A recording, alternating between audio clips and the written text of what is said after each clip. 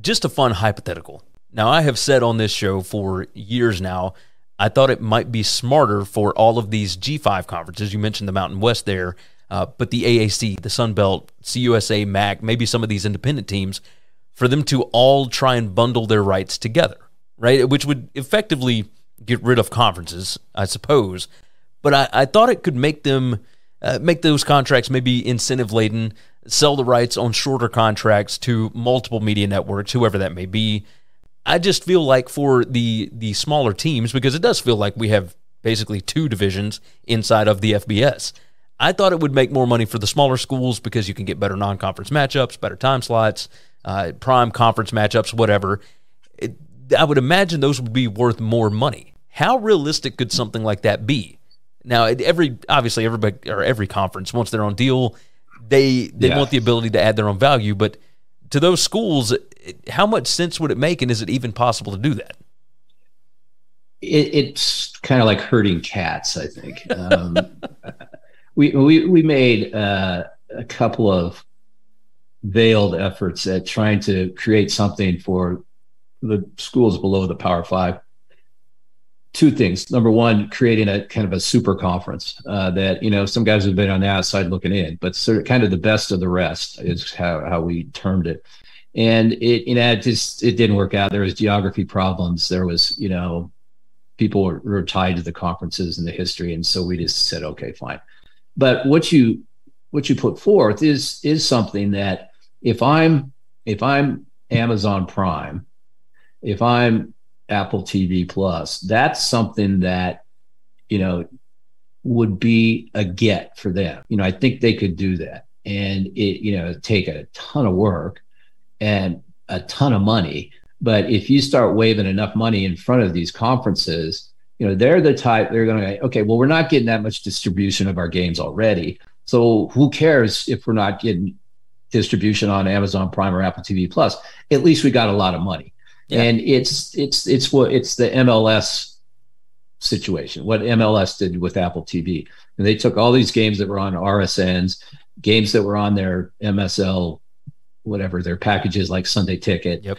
um, and you know even the rights to the games that were on Fox and ESPN. Although I expect at some point there will be a game of the week type thing on Fox and ESPN, and they took all that over and put it on on Apple TV, and you know, I don't know how many homes Apple TV has, but it's a heck of a lot less than than what ESPN and, and Fox were distributing those games to. But they got a big check, and at this point for them, the money is worth more than the exposure. And at some point, it could be that way for the G5 schools, especially since they're not getting that much exposure anyway. Well, a lot of um, them are being relegated to ESPN Plus, et cetera, exactly. or, or, these other channels. I brought this up because I I looked back at that BYU and Coastal Carolina game back in 2020 that was kind of put together the week of, and it drew over a million viewers on ESPNU, which is not a prime network. Exactly. So something along those lines, where those non-conference matchups is that now BYU obviously would be uh, one of the halves at this point, but those fun matchups where teams come up out of nowhere and you've got casual fans that really want to watch, but also the fans of these schools uh, fans of the schools, absolutely. Yeah. I, I, think you know you, someone like Amazon Prime or Apple TV Plus could could cobble that type of thing together with all the conferences. And you know, there's always issues with existing deals when they run out, and, you know, yada yada yada. But I think at, you know every once in a while you're going to catch lightning in a bottle, and yep. it's going to make a, a, big difference. You know, I, I'll never forget the you know the very first game we had on the Big Ten Network was you know Appalachian State kicking a field goal at the end of the end of the end of the game to win. That was the very first game we had. I was like going, oh, "Thank you, Lord." Oh, it was perfect because all the cable providers uh, started getting blown up. Hey, where oh, is yeah. Because I remember following the game and I could not find it anywhere down in Memphis. Right. So, right. and of course, we ended up getting uh, the Big Ten Network. Right. Uh, maybe a couple of weeks after. It'd be the same way for for Amazon Prime or, or, Apple TV if they picked up, you know, were able to cobble that thing, that type of a situation together.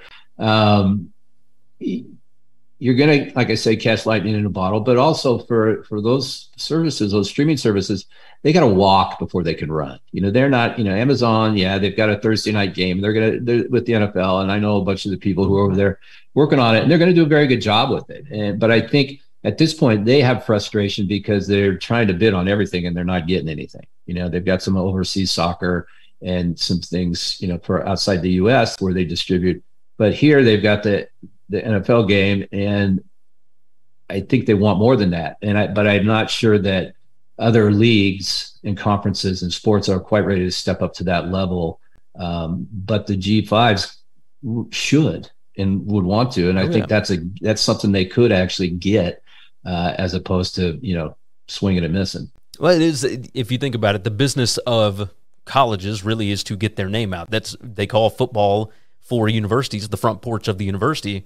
If you're not on a linear network, it, it's kind of tough to get in front of a bunch of eyeballs. So it's it's a back and forth of yeah, the money's really important, but we need to be in front of as many people as humanly possible to advertise our university. So you know, going with the streaming route, I think the way that things have changed as far as sports media rights go, uh, I think it, it makes sense maybe uh, to, to go streaming now because you have to be able to keep up in some form or fashion.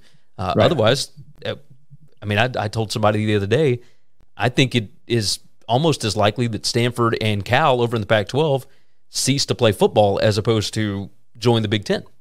Like, I just, That's there's. Possible yeah, it's very possible because I think you know sooner or later, you know, if your football your football program funds the bulk of your other programs, um, you know, Stanford not to so much Cal, but Stanford, you know, they can afford to do whatever they want. Oh. I mean, that's the only building you go to it doesn't have a single ad in it any type. But they they could, you know, with their endowment, they can do whatever they want. But I think you're right. I, I don't think, you know, if the Pac-12 implodes, I don't think you find a big. I don't think you find Stanford or Cal at, in the Mountain West. I think they just shut it down. Oh yeah, they shut football down. And, I agree. Yeah. So you you know, I, but with the the G5s, I think that's that's a you know it's kind of a super league makes a lot of sense, and you know hopefully someone over at Amazon Prime is going to watch this and, and says, "Gee, we got to take a look at that." And I wish them the best of luck because I didn't have any at it. we will uh, we will tag them in the comments for sure and there see if uh, see if something can get done. Thanks for listening to Winning Cures Everything. Make sure and subscribe on YouTube or your favorite podcast app, and make sure to leave a nice five star review. You can follow Gary on Twitter at GaryWCE, and the show is at Winning Cures. Be sure to check out the merch in our web store and share the show.